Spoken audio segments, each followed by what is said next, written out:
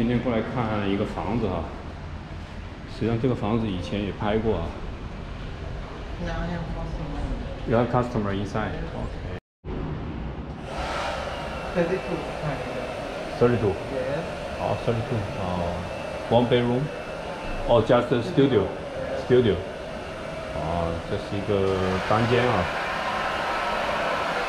进门的那里，这厨房啊，厨房，冰箱，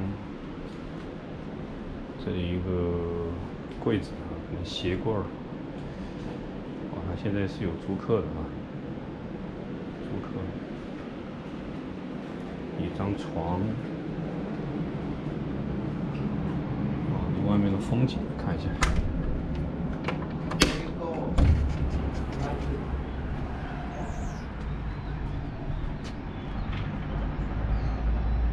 哦，这一面，哎，这一面那个海景挺大、挺宽的啊。对，这个一百八十度全是海景。今天海没那么蓝啊，这里是帕山。这个楼就是沙帕莱这个楼啊，这个大道就是 t a p r a s e 啊，对面就是那个蔬菜水果批发市场，非常的方便啊。海景不错啊，这是真海景，只是说离海有点距离。啊，整个芭提雅市区哈、帕山这些风景还是不错的啊，景观非常的丰富。啊，这边有两个印度客人就在。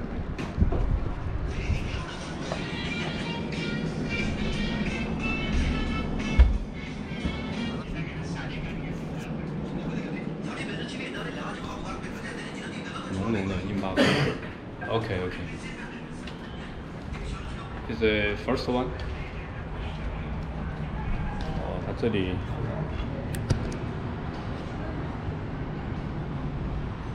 呃，它这个过道还设计了那种开放式的一个，呃，相当于一个观景台啊，一个休息的一个空间。OK。哦，今天 OK，so What's your name? 哎，好好。今天有漂亮的啊，中介小姐哎带我们去看房子。好久没看房子了啊，最近有很多朋友在问啊，芭提雅的房价怎么样啊？给大家看一下。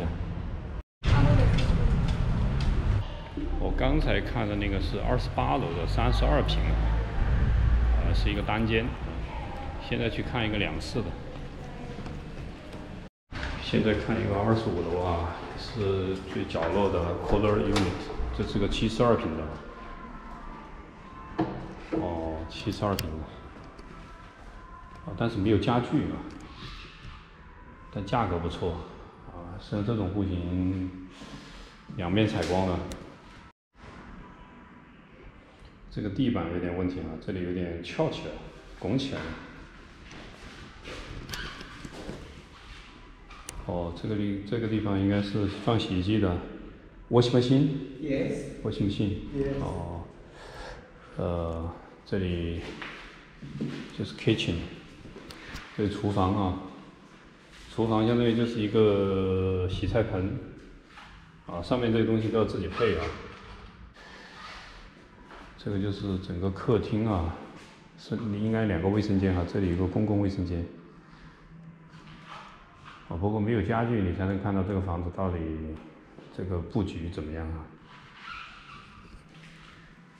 客厅挺大的哈。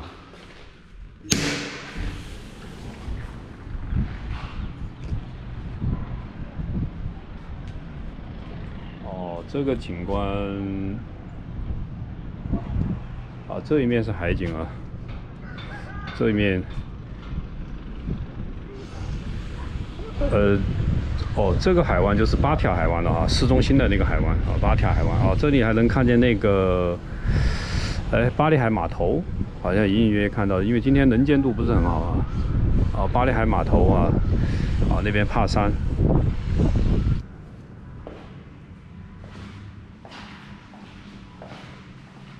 这个是主卧，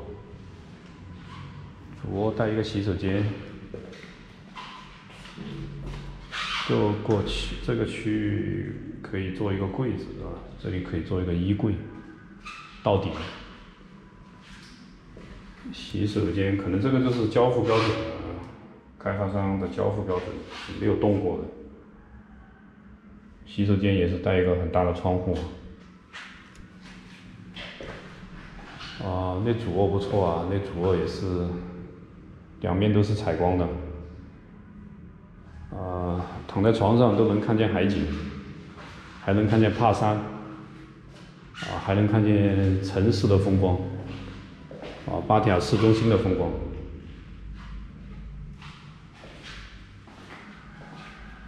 这个房子户型是没得说啊，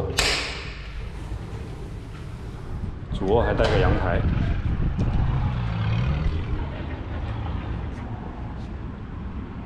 啊，这一边的话就是中天海滩了，啊，中天海滩啊，那个塔，中天海滩。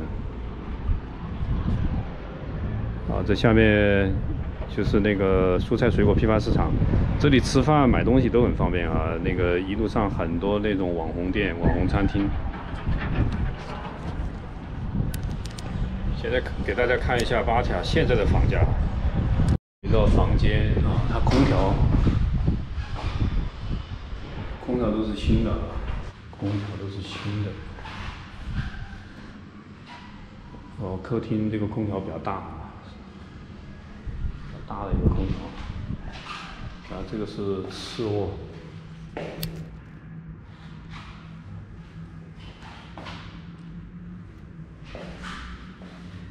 次卧，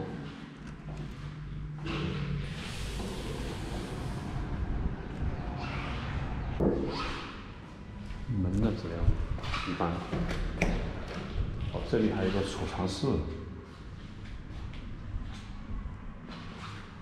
其实那个储藏室睡一个人是够了，有点像日本的那种胶囊房间。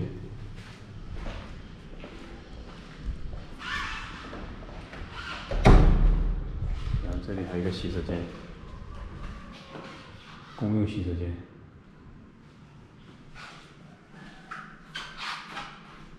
其实就配点家具啊，配点家具实际上就可以住人了。Uh, 72 square meters, uh, 4.5 million, 4.5 million. The price is negotiable. Hmm? The price negotiable. Yeah. The price The price, how about 4 million is okay? 4.5 million. 4.5 million. 可以讲点价了。这个是四百五十万啊。实际上在疫情前。我当时拍过一套房子啊，但是是带家具的，但是家具实际上也有点旧了啊，是要卖五百万，呃，实际上就不如买这一套了，四百五十万啊，并且现在随着游客的到来，实际上八条的房价已经回暖了，基本上回升到疫情前的价格了，所以现在这个房子四百五十万的话，还是很有竞争力的啊，相当于疫情的价格吧，我觉得，因为你配这些家具，你要不要五十万啊？并且。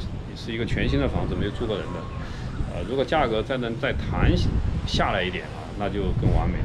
这个房子，因为有七十二个平方嘛，啊，那个户型非常的完美，啊，你如果四百五十万，相当于九十万人民币啊，呃，一万出头吧，一个平方，所以这个房子性价比还是挺高的啊。因为现在基本上八条的房价也恢复到疫情前了，捡漏是很困难的啊。这套房子相当于还是一个疫情。疫情前的价格，哦，疫情的价格吧，还是疫情的价格？Do you have uh many Chinese customers before? Chinese customer you have? Yes. 啊，他非常期待中国人的回归啊！他一直在问我中国人什么时候回来，我说快回来了。实际上刚才在楼下就碰到一个中国人啊，就是昨天才到的，也是六号。他说他没有打过疫苗，也没有买保险啊，啊，全程入境没有一点问题啊。看样子泰国他那个新的入境政策现在还没有开始执行，呃，但是也不知道他哪一天哈开始执行呢，啊，并且中国国内出境现在也没有任何问题了，也不会劝返。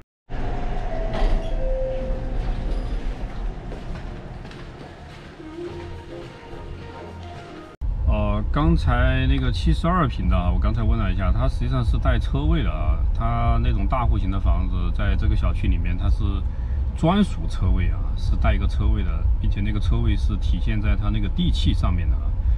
呃，所以它这个性价比还是不错的啊。呃，另外那个三十二平的，在二十八楼的那个房子啊，大后来我问了房东啊，他说是一百九十万泰铢啊。他当时买的时候大概花了两百万啊。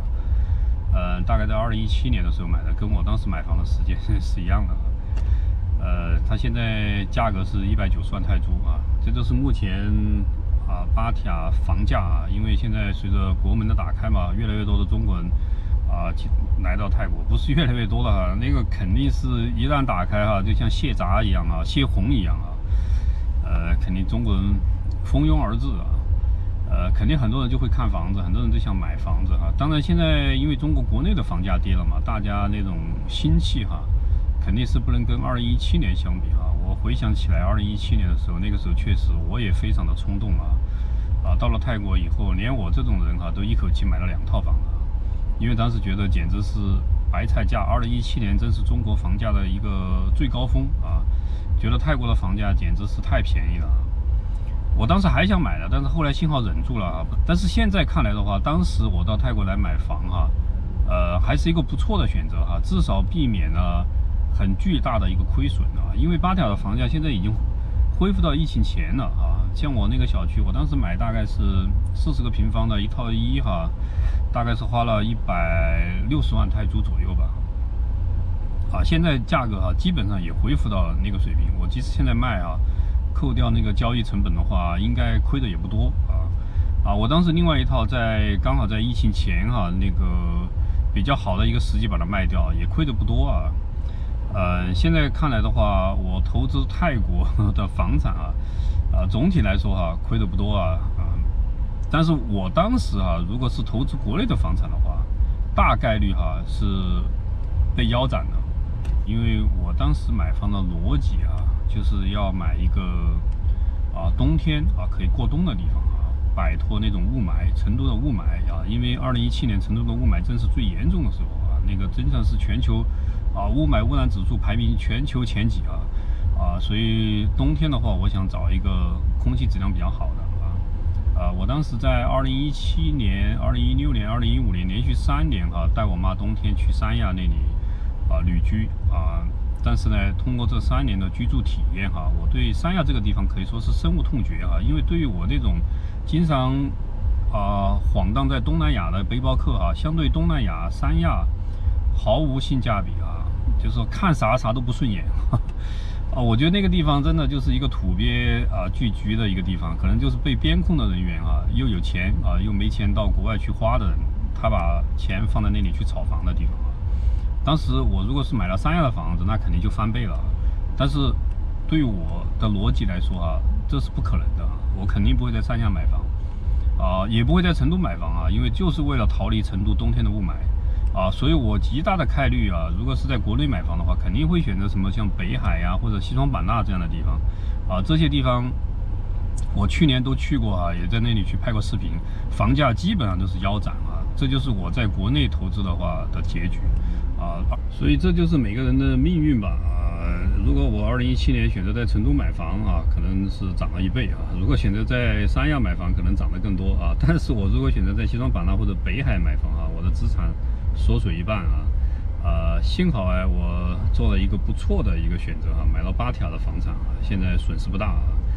不管怎么说啊，我还是非常感谢啊，在八条的旅居生活啊，在八条买了房，然后也陆陆续续在这里住了五六年的时间啊，也带给我了一种全新的一种生活啊，呃，并且我通过这一段生活也开始做自媒体啊，也能够给啊自己的家庭啊带来。啊，还算不错的一个生活的一个补贴啊，呃，并且也带来了一种全新的生活体验嘛哈。我通过做自媒体也认识了很多新的朋友啊，也结交了来自啊全世界各地的那种华人朋友，甚至包括外国朋友啊，啊，所以也让我的人生啊在这个阶段也特别的丰富啊。所以说我非常感谢这一段八条的旅居生活。好，这期视频就分享到这里，谢谢。